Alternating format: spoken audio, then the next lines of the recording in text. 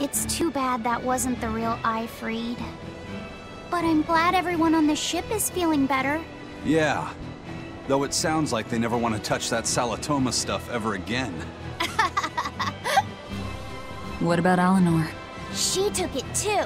And her face went all... Wow! I don't mean how she looked. I mean how she actually feels. Oh. Well, she looks like she feels better too. Good. You're worried about her, aren't you, Velvet? No. It's nothing like that. Let me tell you something, kiddo. When young maidens ripen, they have trouble expressing their feelings. So Velvet's... ripen? Magilou! Quit giving Laphicet confusing thoughts!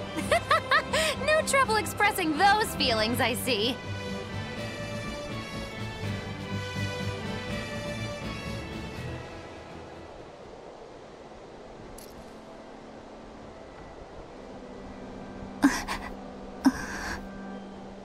The Abbey is supposed to exist to bring peace and order to the world. Everything the Abbey does, everything Lord Melchior and Shepherd Artorius do, it ought to be rooted in that mission. And yet, something just doesn't feel right here. You are dismissed. That knowledge is not for you.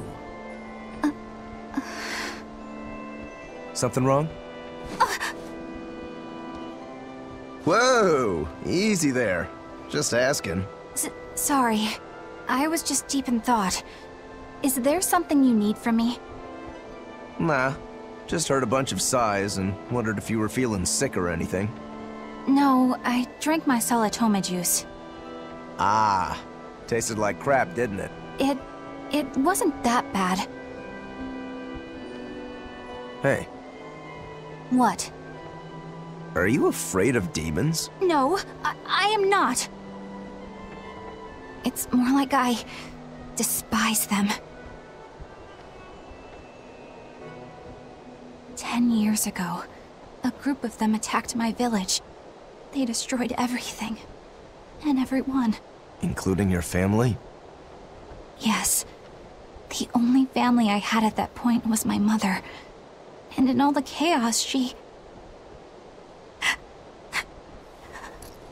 All I have left of her is this hand mirror she gave me. I didn't want anyone else to have to feel the way I did. And so I became an exorcist in order to destroy demons. So you can keep your pity. Gotcha. I will then.